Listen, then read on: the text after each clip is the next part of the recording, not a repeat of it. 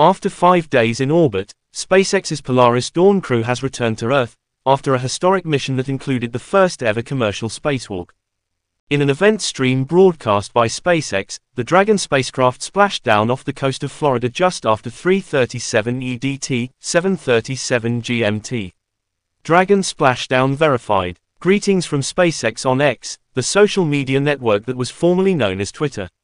The flight was hailed by the U.S. space agency NASA as a giant leap forward for the commercial space industry.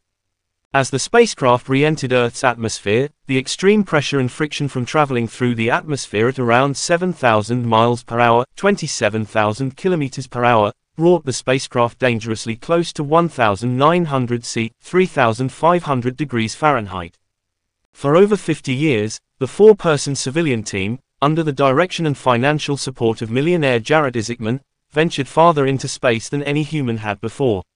The crew also included SpaceX staffers Sarah Gillis and Anna Menon, as well as retired U.S. Air Force pilot Scott Poteet.